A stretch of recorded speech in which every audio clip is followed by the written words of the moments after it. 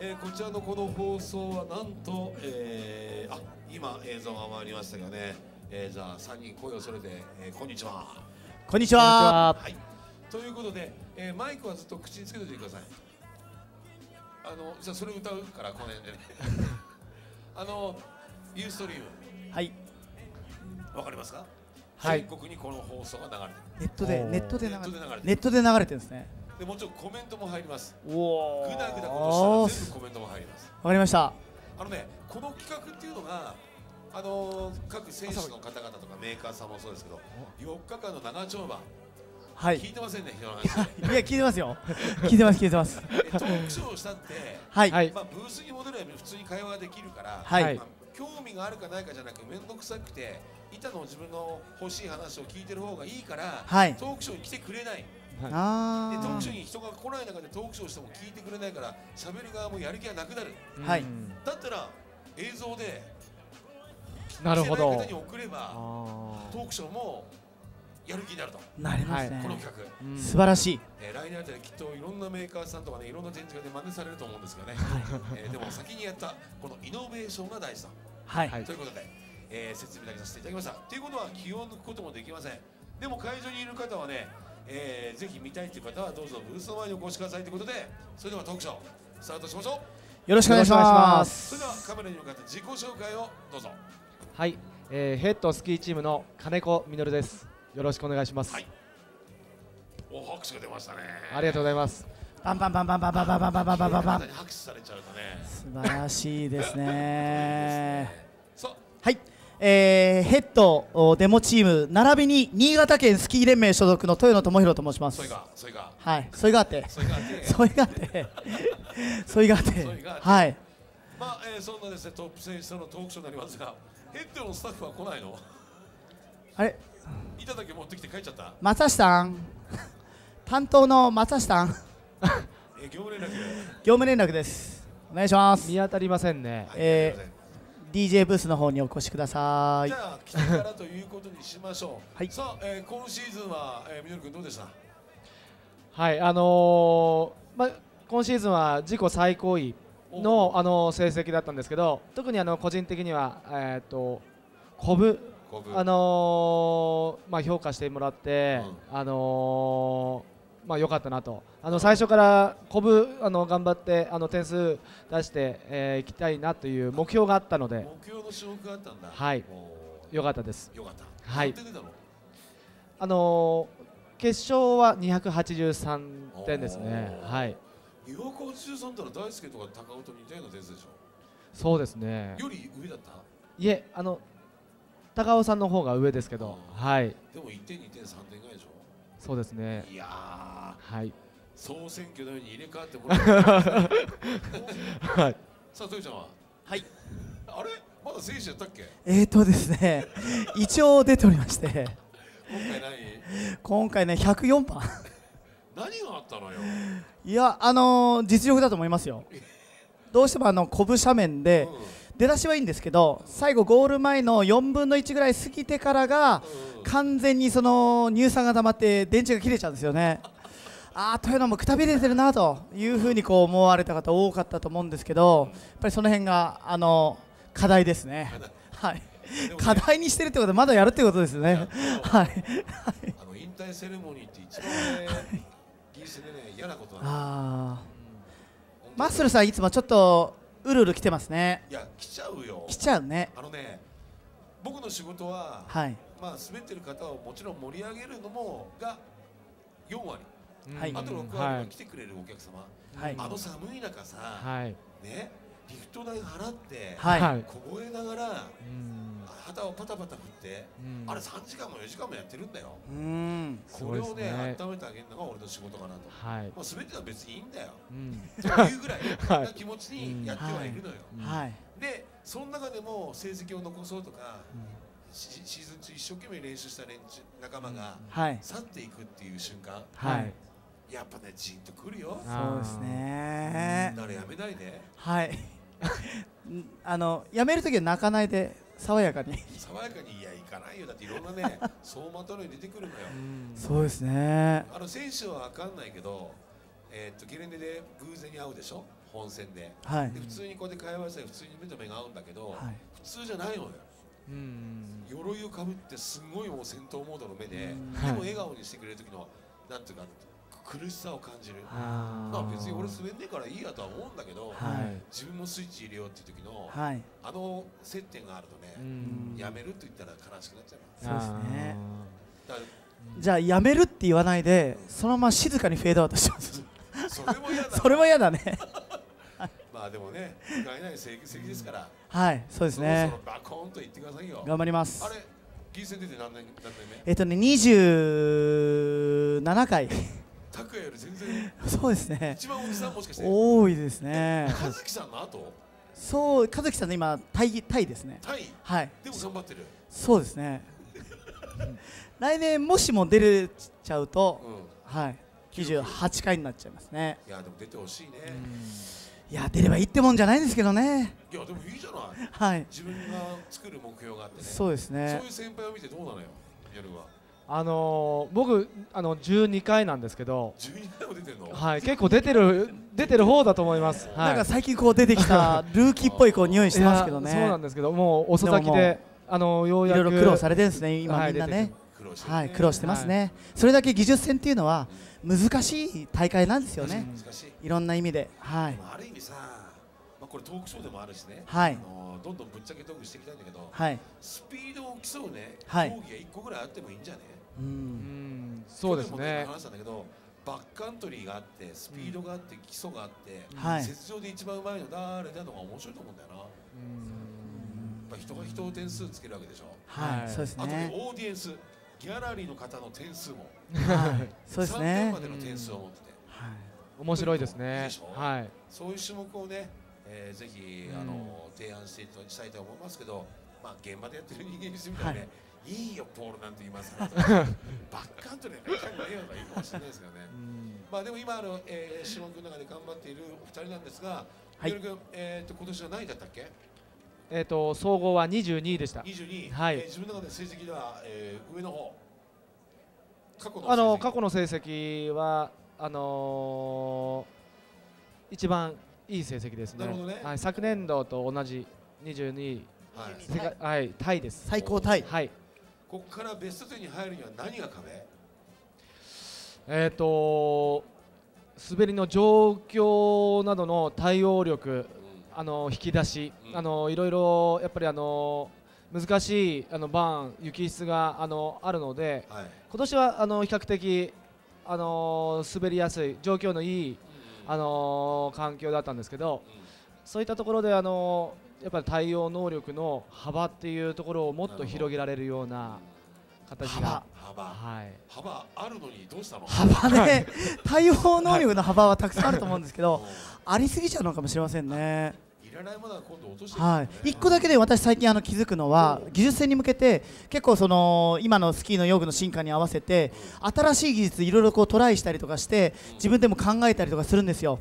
でいい線まで行く行くんですけど大会始まると元の昔のうん自分のこう元気良かった滑りがちょっと戻ってくるんですよ。っていうことはあーというのまだ滑りちょっと古いなみたいな感じで 点数この辺で260点ぐらいで止めとこうかなみたいな空気にジャッジの皆さん多分なってんだと思うんですよね。頑張ってんの分かるけどなーみたいな感じ。のまあでも人がつけるからね気合だけじゃダメだよね。はい。そうですね。うん。はい。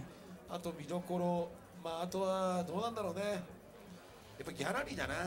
そうですね。まあまあまあ何々選手ったらグワーッとあーそうですね。ってなるよねそうですね。はい。今年も最終種目のうんあの不整地の小回りですね。あれ盛り上がりましたね。あれよかったね。はい。でも俺昨日もね高尾の前で話したけど、はい。もう自分のスピーカー持っていく。あんなチャッチースピーカーで盛り上がるわけないじゃん。ぶっちゃけ。もっと音バーンと鳴らさないとダメなんですね。えもしくはねあの生バンドついてっちゃおうかなと。あいやこれなんかいらないよ、ーうん。スキーが好きで集まった方とはい頑張る方を盛り上げるのは、ね、台本なしで俺も一日やってるけど、はい。やっぱり全てマテリアルがないとできないと一緒、うん。はい。スキーもそうでしょ？こんなかっこいい板があっていい板があるから成績ー残せるけど、そうですね。そうですもうね喋れるけどやっぱりこういう機材にもね、うん。少し頼りたいかなと。うん。そうですよね。盛り上げていきますんで、はい。ぜひ2014年に向けた自分が好きな曲うん。あの個人的にメールください。あはい。わかりました。名前を出さずにすはい演歌ありですか？演歌ありだよ。ありです。奥平工場とか。工場とかね。工場まあそんな話はいいんですけどね。はい。さあえっ、と来年、えーヘッドチームは何を考えているかこちらの板にすべての答えがあると思うんですがこの板の紹介の方はい。できるはい。ほいじゃあ金子さん。お。私がじゃあ最初の方こちらはい持ち上げていただいて見ていただいて。まずですねえっとヘッドのはいスーパーシェイプシリーズのあの人気シリーズですね。あの基礎系の方々にははい。これ一本で何でもできちゃうというタイプのあのシリーズがあるんですよ。その中でも今一番最初に紹介するのがスーパーシェイプのアイスピード。はい。これですねあのそんなにサイドカーブがきついタイプではなくてラディウスが170センチで10メ14メートルちょっとのスキーなんですけれど、スキーが非常にあのスムーズに回転してくれてあとスキーの走り抜けがいいんですよ。なのでね結構あの上級者の方にもあの試乗会等でも好評いただいていて結構今年あの前までは白ベースだったんですけど今シーズンね黒ベースでなぜか木目調。木目調。木目調。これいいわなんかやっぱりあのサンドイッチのこれあの私の想像の域の話ですけどえサンドイッチマン？サンドイッチスキーあサンドイッチマンねい。ますね。あのヘッドってやっぱりこのねはい。もうちょっと食らいついてほしかった。このサンドイッチ構造のやっぱりスキーでずっとねいい評価をいただいていたんでやっぱりそのまずは木。木。いい木を使ってますよっていうあたりの木目な感じをですねちょっとこう皆さんに表面からおお伝えしたかったんじゃないのかなとちょっと半分作り話で喋ってますけど まあそういうところもこう含めて、はい。えー、とスーパーシェイプのスピードっていうのがですねうん。比較的あの1級を取ってこれからじゃあもうちょっと上の技術例えばテクニカルとかクラウンを目指したいなという方に結構こうおすすめであのご購入いただいてる好きですね。おはい。いいですねこの木目のブラックに蛍光イエローですかイエローですいいねですね。これゲレンデで結構ね目立ちます、うん。はい。はい。はい。えこちらの板はなんかつ二人とも使ったの？これこれね普段履いてます。普段履いてるはい普段履き。普段履き。普段履き。はい。はい。よそ行き履きは？よそ行き履きはねあのなんか技術専用だとうん。SL とか GS のスキーを。あそれ今日持ってきてないんだ。持ってきてないです向こうにある。ねあ向こうにある。はい。でもね会社としてはこれ売りたいかなあなるほどね。はい。会社としては。いや普段履きね。はい。あのーワールドカップでですねテッドリゲティとか優勝してるじゃないですか。はいはテッドリゲティ優勝して表彰台で持つスキーこれなんですよなのでワールドワイドで考えてもヘッドはこのスーパーシェイプシリーズを一番皆さんに知っていただきたい。なるほどね。スキーなのかなと思いまして、はい。今日はこちらの方を持ってまいりました。はい。蛍光イエローからこの蛍光グリーンがあります。グリーンですね。じゃあこちらですね、えーナショナルデモの金子さんにですねあちょっと今度私が、えっとスキーを持ってますんで金子さんにこのスキーを、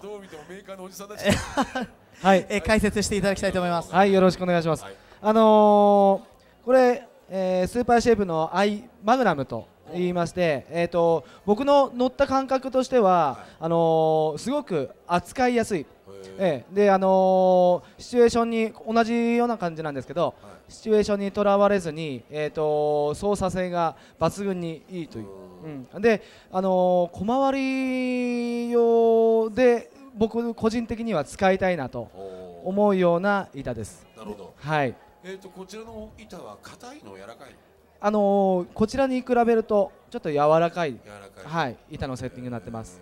はい、これ木なんでしょ上は？これ木ですよね。あ違うの？なるほど。えーでもこれいいね結構あのデザインがとてもシンプル。中であのパワーがあるようなね。はい、はい。そうですね。このマークは何を意味するの？これね、えー、とカーズっていう、はい。あのシステムで、まあ、ちょっと、あのー振動板ってバタつくじゃないですか、はいはいはい。でバタついた時にあのその振動を受けるとその中になんかねうん電気をちょっとこう発生するんだって。だって。だって。はい。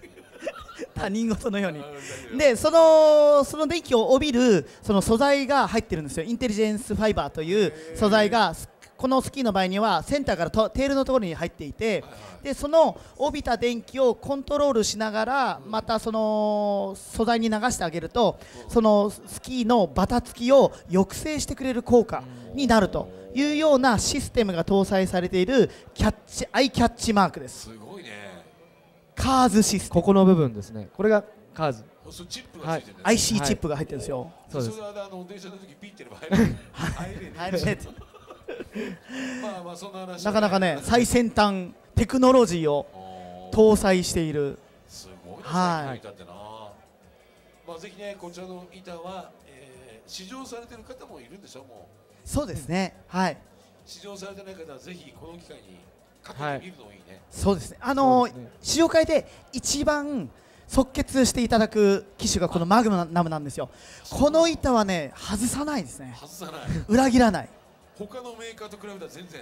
いやそのそういう今 今角が立つような意見はここでは言えないんですけれどえっ、と非常に評価をいただいております評価をいただいてる、はい評価はいただいておりますはいこれ履いたらうまくなっちゃうそうですね非常にね楽に滑れますし、やっぱりスキーが上手くなさせてくれる楽にスキーを滑らせてくれるっていうアイテムだと思いますね、まあ、ぜひね、あのーこれを履いて104位取ってほしいなと。そうですね、い、やいやいや104位じゃないんじゃないですかもうちょっと上に行くと思いますね。私を超えちゃうと思います。104って言うけど全国で技術戦にエントリーするのって6万人いるんだってね。そんなにいるんですか？5万から6万人おだってえー多いですね。その中で20番27番22ですね22番と104番はい。全然平気。もう1番も2番も22番も全部一緒でしょみんな。だだいぶ違いますね。一緒ですか？お金もらうかもらわないかだけで俺たちにしてもみんな一緒。一緒。だから一緒ということは何かというとやっぱりスタート台でねみんなに元気を与えるようなオーラを出せるぐらいスキーって楽しいよって言ってやってくれると、そうですね。うん。まあまあみんなもうんうんって言ってましたけどね、うん。本当ね技術戦の本戦に行く1位から100位全員俺には一緒はい。うん。そいつがどういうオーラを出すかねあそうですだねからもう堂々と、はい。その気持ちでやれば一番取ってもあまし変わんないっすよのはかっこいいじゃん。うん。取ってこんなところやっちゃだよね、はい。うん。それを実証してくれるのがヘッドということだね。はい、こんなまとめでよろしいでしょうかえー。ありがとうございますありがとうございます。結構今回真面目でしょ？たまにはねまあそんな感じで、えーとはい。じゃあみのると,、えー、とトヨちゃんもね、はい。えーカメラに向かって2014年の抱負をお願いします。はい。えー、と来シーズンもですね精力的にあのスキーの活動をおスキーのレッスンそれから技術性のシーンでもあの頑張っていきたいと思います、えー、と私今45歳。45、はい。来シーズン技術戦を迎える頃46歳なんですけどあのーところどころやっぱり関節に油が切れてきたりとかあのー来てはいるんですけど、はい。でもやっぱりそれなりに準備をしてうん。鍛えて頑張ればあのまだまだえースキーは楽しく上達できるんだということをお見せしたいと思いますので、えー来シーズンも技術戦のシーンで頑張っていきたいと思います。応援よろしくお願いします。はい。じゃあみのるの方は？はい。ギャラリー多いっすよ。すごいですね。いや柏木の周期の時よりも多い。多いです。なんで？よろしくお願いします。はい。やっぱヘッドファン多いんだよ。あー。ますそうなんですありがとうございます。よろしくお願いします。はい。えっ、と僕はですねえっ、と12年と先ほど言いましたけども、今が多分一番成績が出しやすいとか、あのー油が乗ってる頃だと自分では思っているので最近定位置になりつつに、はい。ある20何番台。うん。これをやっぱり一つ破って10番台にうん入っていく。それをやるためにはやっぱりこの今の時期からしっかりとあの冬に向けてトレーニングを積んではい。で、えー、とそうですね。冬に入った時にはもう自信のあふれたスキーヤーになれるようにもう今年はしっかりやったんでこれでもうあの悔いはないというふうに思った状態でシーズンインをして、うんえーいい成績を上げられるようにそしてスキーをもっともっと長く続けていけるように頑張っていきたいと思います。いやい。いねはい。よろしいでしょうか先生。素晴らしい。素晴らしいコメントですね、あのさっき言った現場での応用の幅はい。は先輩から聞いてさそうですね。今はい。日の今の滑りのこの天候だとこの滑りしたらまずいぞって信じた方がいいよ。はいい、そうですねあの参考になります。いつもあのこういう状況の時では特に心理的なところとかはあのアドバイスをよくいただけるのですごくね。参考になってます。本当はね DJ しながら裏番組作ってさあ今の点数こんな感じだけどきっとねジャッジも疲れてるから 話見てねえよとか言いたいんだけどね。はい。そう言っちゃいけませんけどね、はい。そうですね。まあ裏事情いろんな知ってますけどジャッジも命をかけてますんで。そうですね、それも同じ滑りで同じポイントで同じコースで降りてきたら、きっと点数が出ないよ、うんあいつあそこ行っちゃうの危ないじゃん、はい。一歩間違えたら点数を落とすよってとこで気合を見せるぐらい、うんやっぱりトップトップ取った選手がジャッジしてるわけですからね、うん。アグレッシブに、はい。カテゴリーイノベーションで。はい。そうですねはい。ということで、はい。えーヘッドチームの、えーお二人でございました、えーさ皆様ありがとうございました。ありがとうございましありがとうございまたした